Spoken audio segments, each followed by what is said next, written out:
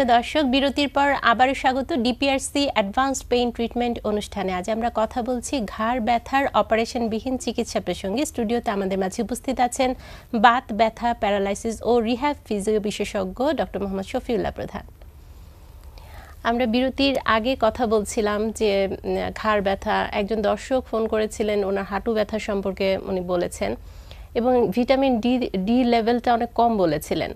এই ভিটামিন ডির সাথে আসলে মাসেল পেইনেরও একটা সম্পর্ক রয়েছে। যেমন জয়েন্টে পেইন হয় মাসেল পেইন হয় উইকনেস হয় এই বিষয়গুলোতে একটু জানতে চাইব। ধন্যবাদ। আমরা দেখেছি গত দু তিন মাস ধরে ইভেন কি যখন করোনা শুরুতে আসলো তখন আমরা সবাই সচেতনতামূলক প্রোগ্রাম করলাম যে মিডিয়াও আমাদের সাথে হেল্প করল যে আমাদের ইমিউন বুস্টিং করতে হবে। জি আমাদের ইমিউন বুস্টিং এর জন্য ভিটামিন ডি এর একটা মানে আমাদের রোগ প্রতিরোধ ক্ষমতাটাকে বাড়াতে হবে। জন্য।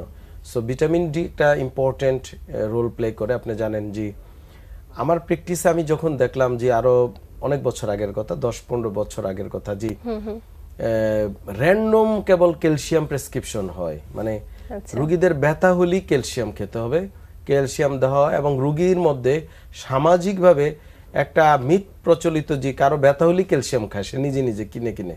যে তার ক্যালসিয়াম কমে গিয়েছে ক্যালসিয়াম কমে গিয়েছে।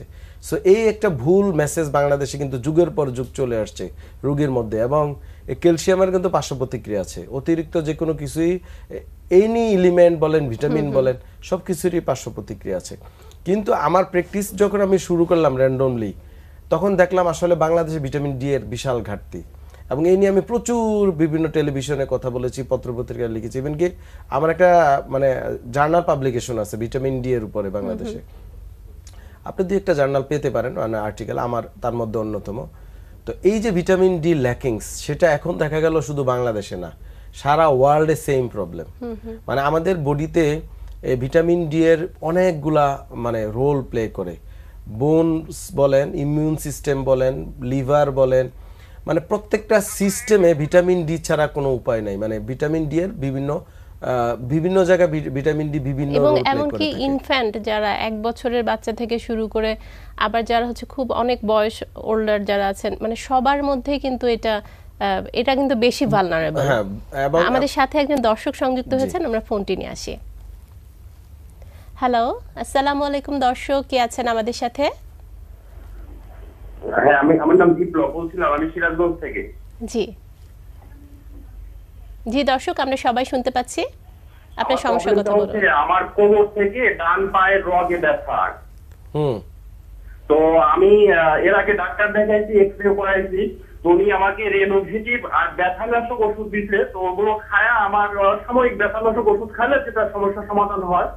তো এখন আমি ওই সমস্যার সমাধান হয় না আমি দীর্ঘদিন এই পেইনে ভুগছি। এই মুহূর্তে আমি কি করতে পারি? বয়স কত আপনার আর কি করেন? আমার থার্টি থ্রি বয়স আমার ওজন হচ্ছে আশি কেজি আমার বয়স ইয়া হাইট হচ্ছে ছয় ফুট। আপনি কি করেন? পেশা কি? আমি প্রাইভেট সার্ভিস করি। বসে থাকেন? প্রাইভেট সার্ভিস করি সব কিছুই করি বসে থাকি না। আচ্ছা আচ্ছা জি ধন্যবাদ আপনাকে। উনি একেবারে একজন টিপিক্যাল রুগী সায়াটিকা বা আমরা পিএলআইডি বলে থাকি। তো সায়াটিকাটা বাংলাদেশে কিন্তু খুব প্রচলিত। রুগীরা অন্তত জানে যে সায়াটিকা কি। তো সেটারই আপডেটেড ভার্সন হচ্ছে আমরা বলে থাকি পিএলআইডি বা ডিক্স প্রোলাপস। তো ডিক্স প্রোলাপসই শুধু সায়াটিক নার্ভে হতে পারে তা না অনেকগুলো নার্ভ আছে পায়ের দিকে বিভিন্ন প্রত্যেকটা নার্ভই কিন্তু রুটে কম্প্রেশন হতে পারে তা থেকে রেফার্ড পেইন হতে পারে যেটা ওনার ক্ষেত্রে হয়েছে। আমি আপনাকে বলব আপনি দেরি না করে দ্রুত একজন স্পেশালিস্টের মাধ্যমে মেরুদণ্ডের স্পেশালি কোমরের একটা এমআরআই করে ফেলতে হবে এবং পাশাপাশি পুরো মেরুদণ্ডের একটা স্ক্রিনিং ছবি নিতে হবে। আপনার সমস্যাটা কোমরের ডিস্ক থেকে নার্ভ কম্প্রেশন হয়ে পায়ে ব্যথাটা হয়, এটা কমন প্রায় আমরা পাচ্ছি। সো আপনার ডায়াগনোসিসটা ক্লিয়ার হলে আপনি বুঝতে পারবেন যে আপনাকে কি করা উচিত।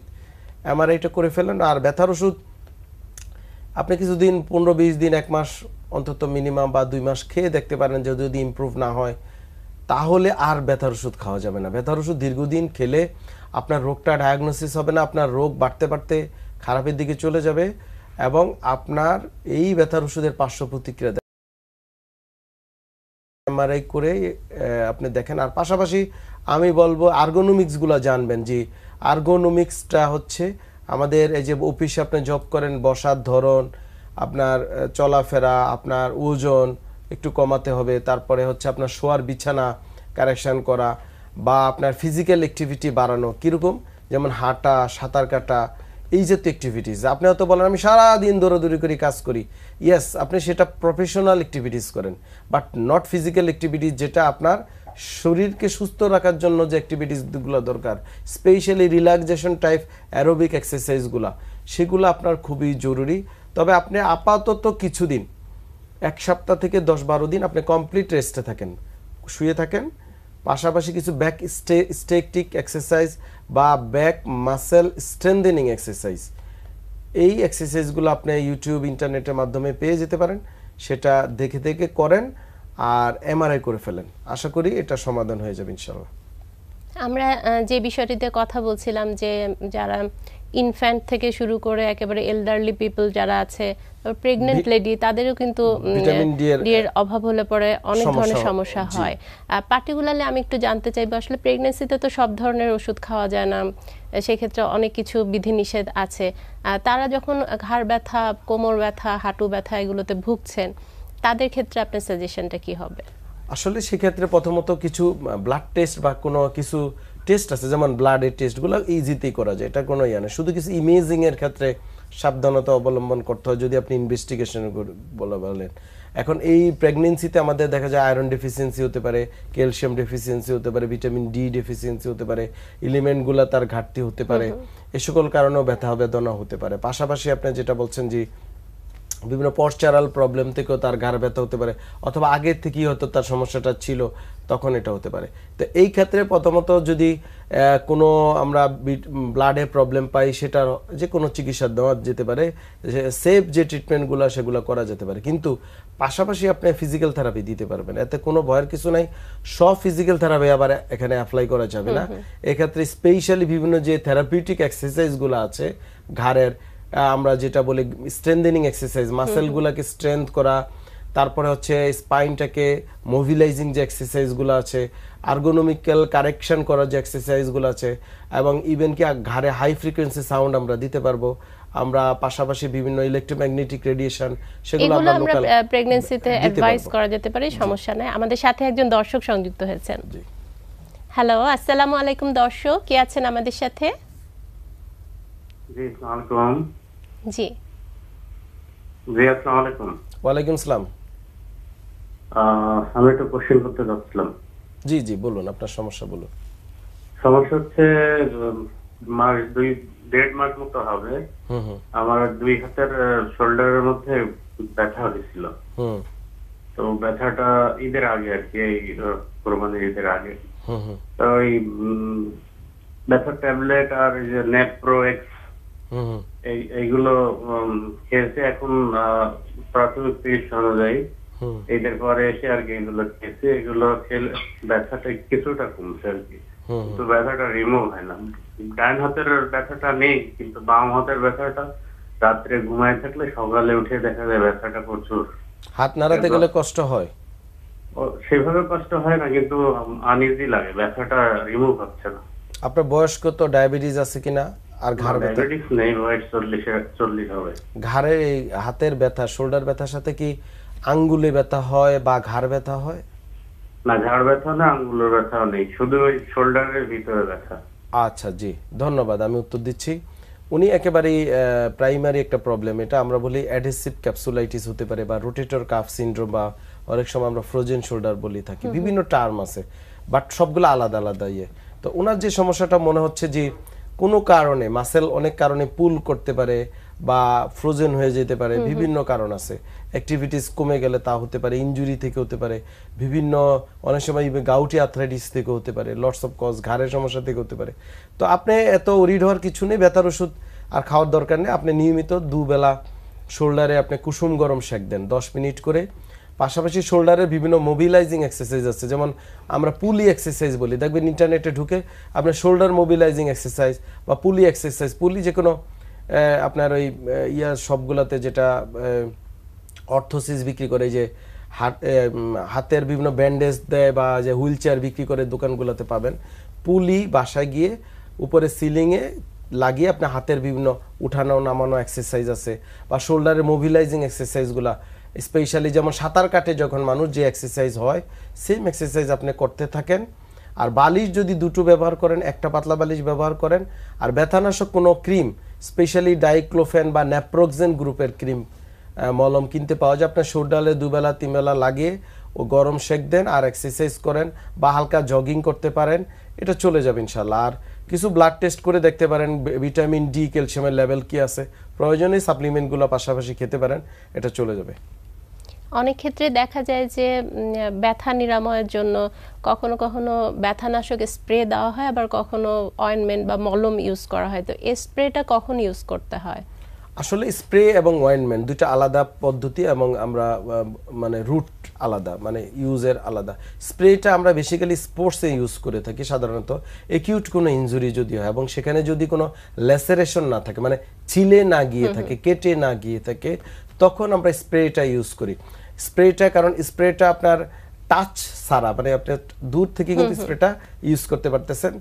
কোনো ইনজুরি যদি একিউট হয় আপনি যদি সেখানে মাসাজ করেন বা হালকা লাগাইতে যান ইনজুরিটা আরও বেড়ে যেতে পারে। এই জন্য আমরা স্প্রেটা খুব সহজে ইউজ করি। আর স্প্রের ফর্মুলা আর মলমের ফর্মুলাটা টোটালি ভিন্ন। এটা কি বেশি তাড়াতাড়ি পেইনটাকে রিলিফ করে? স্প্রে স্প্রেটা হচ্ছে একিউট মানে হঠাৎ যদি কোনো আঘাত পেয়ে থাকে আঘাত হয়, মানে- সেই ক্ষেত্রে। হ্যাঁ কোনো আঘাত পেল আমাদের সাথে একজন দর্শক সংযুক্ত হয়েছেন ফোনটি নিয়ে আসি। আসসালামু আলাইকুম দর্শক কে বলছেন কোথা থেকে বলছেন? মোহাম্মদ মহিবুল্লাহ বরিশাল থেকে। জি। জি মোহাম্মদ মহিবুল্লাহ বলেন আমরা শুনতে পাচ্ছি। স্যার আমার বাবার জন্য ফোন করেছি। জি। আমার বাবার হাঁটুতে ব্যথা এই আট দশ বছর ধরে। হুম। ট্রিটমেন্ট করেছি অনেক জায়গায়। হুম। কিন্তু হাঁটুর ব্যথা এখনও কোনো ই সলভ হচ্ছে না। দুই হাঁটু না এক হাঁটু? এক হাঁটুতে ডান হাত ডান ডান পায়ের কি সমস্যা হয়? ফুলে যায় বা হাঁটু ভেঙে বসতে পারে না? কি সমস্যা হাঁটু ভেঙে বসতে পারে না হ্যাঁ। ফুলে যায় কোনো? না ফুলে যায় না। কি জাতীয় চিকিৎসা ব্যথা করে আচ্ছা কি জাতীয় চিকিৎসা নিয়েছেন আপনি এই পর্যন্ত? মানে পদ্ধতিটা আমি জানতে চাই। কোনো ইনজেকশন নিয়েছেন ওষুধ খেয়েছেন থেরাপি দিয়েছেন বা ইঞ্জেকশন থেরাপি দিয়েছে ইঞ্জেকশনও দিয়েছে। কাজ হচ্ছে না এই তো? হ্যাঁ। আচ্ছা জি ধন্যবাদ আমি উত্তর দিচ্ছি। ওনার বাবার যে সমস্যা মনে হচ্ছে অস্ট্রিও আথ্রাইটিস জনিত সমস্যা মানে আথ্রাইটিসের অন্যতম একটা রোগ যেটা অস্ট্রিও আথ্রাইটিস এবং অস্ট্রিও আথ্রাইটিসে যেটা আমার আমরা দেখছি এখন যে রুগীরা প্রাইমারি অবস্থা যখন রুগীরা ডাক্তারদের কাছে আসে বা রুগী নিজে থেকেই সে ব্যথার ভয়ে বা কষ্ট পায় বা আমরাও অনেক সময় সাজেস্ট করে থাকি যে আপনি মুভমেন্ট করবেন না হাঁটা চলা। যেমন আমি কোমর ব্যথা রুগীকে বললাম আপনি এক সপ্তাহ দশ দিন রেস্টে থাকেন কিন্তু তার মানে এই নয় যে আপনি আজীবন শুয়ে থাকবেন রেস্টে থাকবেন। ঠিক না? তোদের হাঁটুর ক্ষেত্রে এই ঘটনাটা ঘটে। যে রুগী মানে চেয়ারে বসে নামাজ পড়ে। পিরিয়ডের জন্য কিছুদিনের জন্য। কিছুদিনের জন্য। কিন্তু রুগী হয়তো মুভমেন্টটা কমিয়ে ফেলে। যার কারণে তার প্রাইমারি স্টেজটা চলে গিয়ে গেলে যে তাকে আবার এক্সারসাইজ করা দরকার মুভমেন্ট করা দরকার সেইটার হয়ে ওঠে না বা পুনর্বাসন হয় না। তখন এই হাঁটুর সমস্যাটা পার্মানেন্টলি রুগীর পায়ে চলে আসে এবং এই সমস্যাটা যখন প্রপার ট্রিটমেন্ট না হতে থাকবে আস্তে আস্তে আস্তে আস্তে হাঁটুতে আপনার কাটিলেজ ইরোশন হবে সেকেন্ডারি আথরাইটিস ডেভেলপ করবে ফোর ডিগ্রি আথরাইটিস ডেভেলপ করতে পারে এবং হাঁটু অনেক সময় আমি আসে প্রায় আমার কাছে রুগী এদিকে বেঁকে গিয়েছে ওদিকে বেঁকে গিয়েছে পিছনে চলে গিয়েছে হাঁটু গোল হয়ে গেছে একটা হাঁটু দেখতে ভালো আর একটা খুব ফুলে গিয়ে গোল হয়ে বা ডিফর্মড হয়ে যেতে পারে। তো আমি বলব ওনাকে আপডেটেড পুনর্বাসন বিভিন্ন চিকিৎসা এখন বাংলাদেশে অ্যাভেলেবেল বিভিন্ন থেরাপি স্পেশালি যেমন পিআরপি প্রোলোথেরাপি বিভিন্ন ইলেকট্রোথেরাপি এবং পাশাপাশি এক্সারসাইজ এগুলা করতে হবে। ওনাকে আপনি যদি সম্ভব হয় স্টেটিক সাইক্লিং বাসা করতে পারে। মানে সাইকেল ওই যে বাসায় স্টেটিক সাইকেল স্পোর্টসের দোকানে কিনতে পাওয়া যায়। এই জাতীয় সাইকেল সে বাসায় ব্যায়াম করতে পারে, হাঁটুর কিছু এক্সারসাইজ আছে। যেটা যেমন খাটের কিনারে বা উঁচু কোনো জায়গায় বসে পা উঠানো, নামানো বা সাঁতার কাটা, গরম শেক এগুলার পাশাপাশি এগুলা যেহেতু অনেক দিন হয়েছে আমি সাজেস্ট করব ওনাকে একজন পুনর্বাসন ব্যথা বিশেষজ্ঞের শরণাপন্ন হয় এই আপডেটেড চিকিৎসাগুলো যদি দিতে পারেন আশা করি ইমপ্রুভ হয়ে যাবে। আর অনেক ক্ষেত্রে দেখা যায় যে রুগী মানে প্রপার ট্রিটমেন্ট না হলে বা দিলে হলে এখন সময় রিপ্লেসমেন্টের একটা অপশন চলে আসে। আমরা এই বিষয়গুলো নিয়ে আরও কথা বলব একটা বিরতি থেকে ফিরে। প্রিয় দর্শক, আপনারা দেখছেন ডিপিআরসি অ্যাডভান্স পেইন ট্রিটমেন্ট এবার নিচ্ছি ছোট্ট আরেকটি বিরতি। ফিরছি কিছুক্ষণের মধ্যে আমাদের সাথেই থাকুন।